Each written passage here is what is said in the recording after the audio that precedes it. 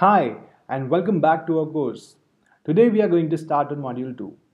I'm sure you remember that we talked about course objective and programming paradigms in our last lecture and understood function programming a little bit. Then we were able to differentiate function programming and object-oriented programming models. We will take a look on why we should choose Scala to code with and then we'll start and get our hands dirty by writing some Scala code in Scala REPL. Why to wait then? Let's begin our journey by taking a look at module objectives. In this module, we will start with why to use Scala for our applications. There are more reasons to that, and we will talk about them later. We will go ahead and know about Scala's offering to us, the developers. You know, because of Scala's popularity and multiple paradigm features, it's being used in many other web frameworks and toolkits, even front-end frameworks like Scala.js. We will discuss about that later. And then finally, we will start by doing a bit of Scala code in Scala REPL. I'm waiting for that. We will set up environment for Scala programming by installing IDE for Scala. We will uh, we will use IntelliJ IDEA that. We will learn about Scala's basic data types. If you are coming from a Java background, this won't be much of an effort for you. Scala is statically typed and our next topic will be type inference. We will discuss about control structures in Scala, if and else if and pattern matching and all those constructs. Then we will talk about looping constructs in Scala. Finally, at the end of this module, we will discuss functions. Scala is also a functional language and there's more to functions than uh, any other object-oriented language. We will discuss about anonymous functions and procedures. So, you see there's a lot coming in this module. We will be covering all of them. I'm sure that you're going to get along with me on this journey. So let's start with our very first topic, why Scala? We have talked about Scala's capabilities to write robust and concurrent and scalable applications. You have already seen some of its capabilities like it supports immutability and uh, referential transparency, but there is more to Scala. By saying more, I mean it. Scala is concise. It's compatible, high-level language, multi-paradigm, and easier for parallelism. So let's discuss them one by one. First, Scala is concise. I would say anyone who has some programming experience with Scala can explain that to you. The comfort this language provides to not only programmers but also developers who are constructing libraries Programmers have reported reductions in number of lines up to a factor of 10 compared to Java. Scala has concise syntax. There are no semicolons mandatory and thus less noisy syntax to write. Much of the boilerplate code has been removed.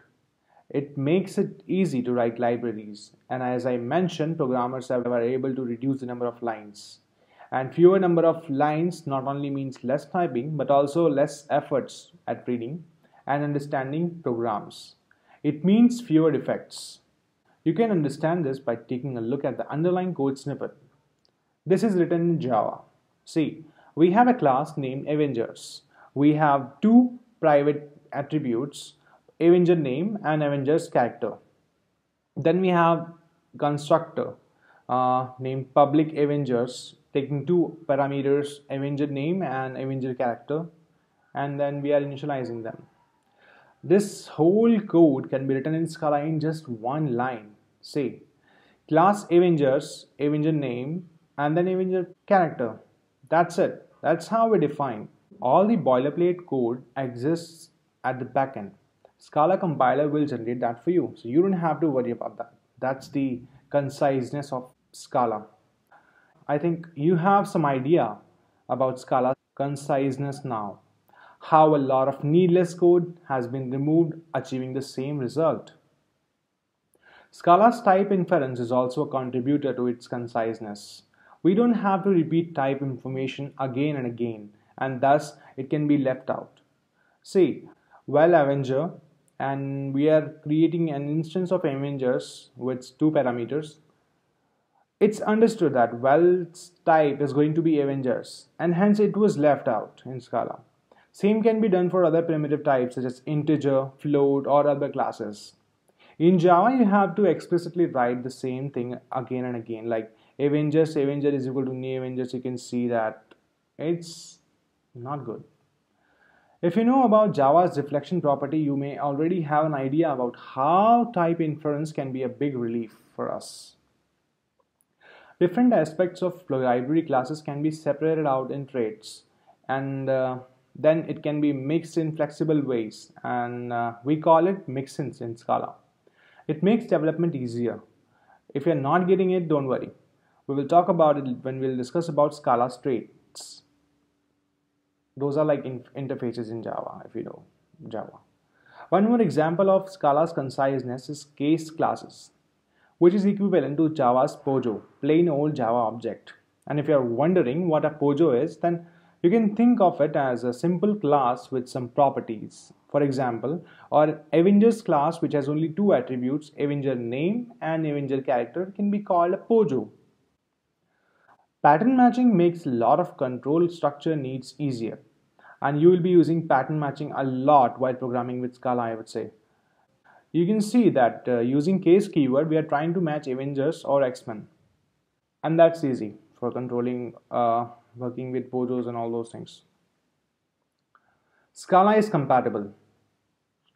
You know, Scala is a JVM language and if you don't have any idea about what is JVM, then for simplicity, here's how you are going to understand JVM. JVM is called Java Virtual Machine, which converts your Java programs to bytecode so that machine can understand and perform operations with your code. Simple, isn't it? And welcome Scala on JVM. Scala is a language which runs on JVM and compiles to JVM bytecode.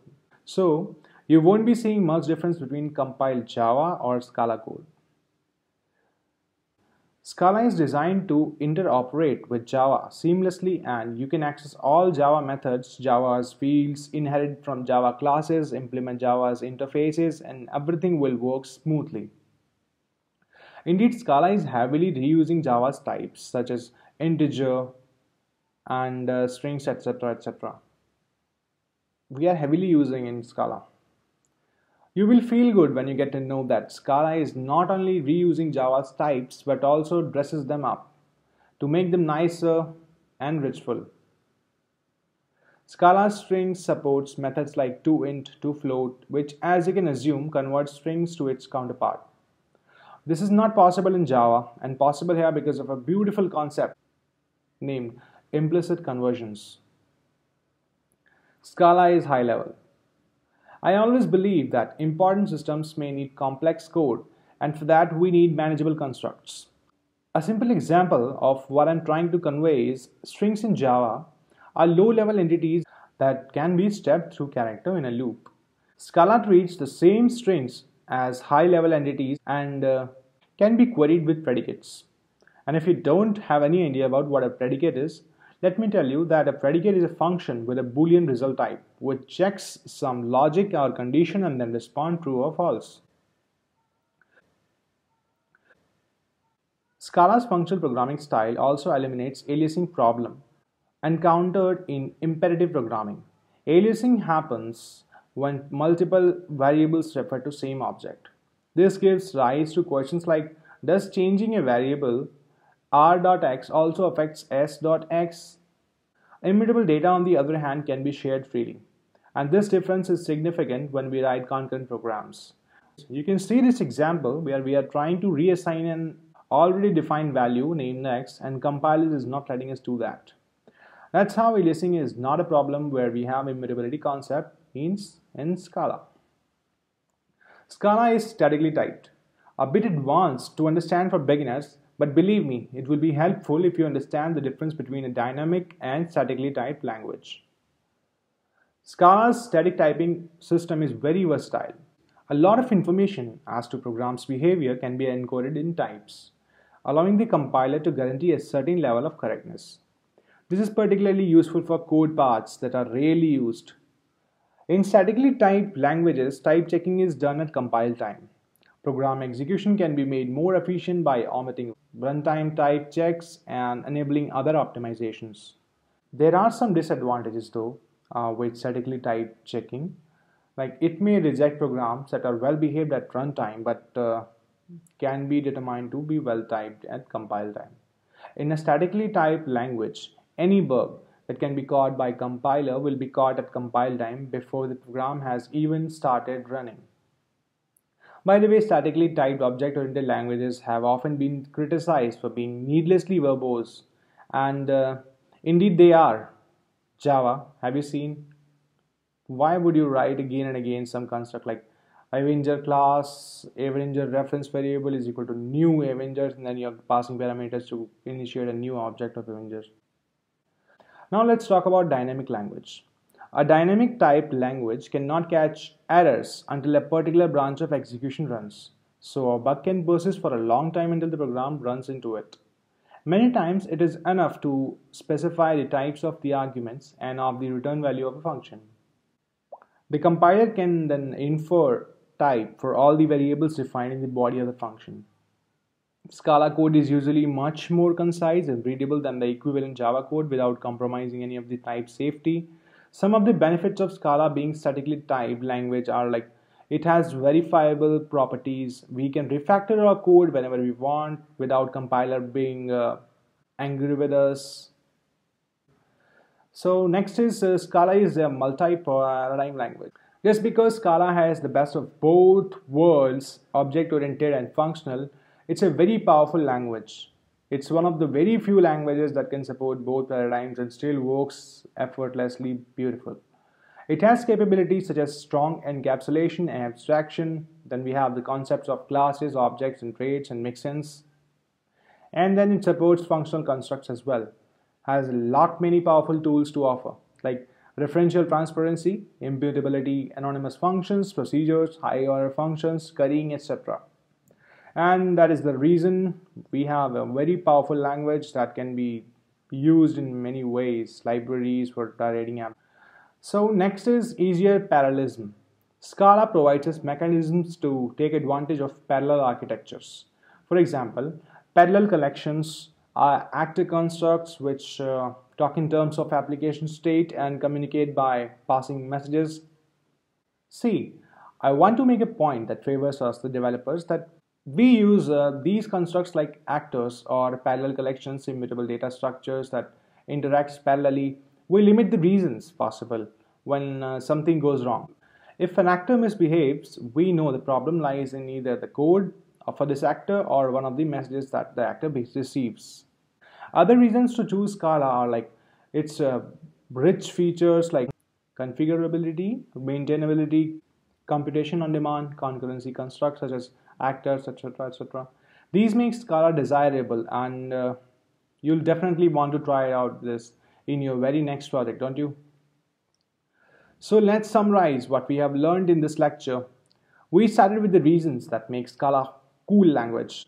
Reasons to choose scala for its feature rich constructs and multi-paradigm functionalities. Very few languages are there with such power and robustness. Scala is one of them and that's the reason for its popularity we discussed all those reasons such as compatibility, being high level, statically typed, and etc. in our lecture. So that's it for today. In our next video lecture, we will talk about uh, Scala's features and then we'll take a look at frameworks written in Scala. So I would want to wish you happy learning. Thank you. Bye bye.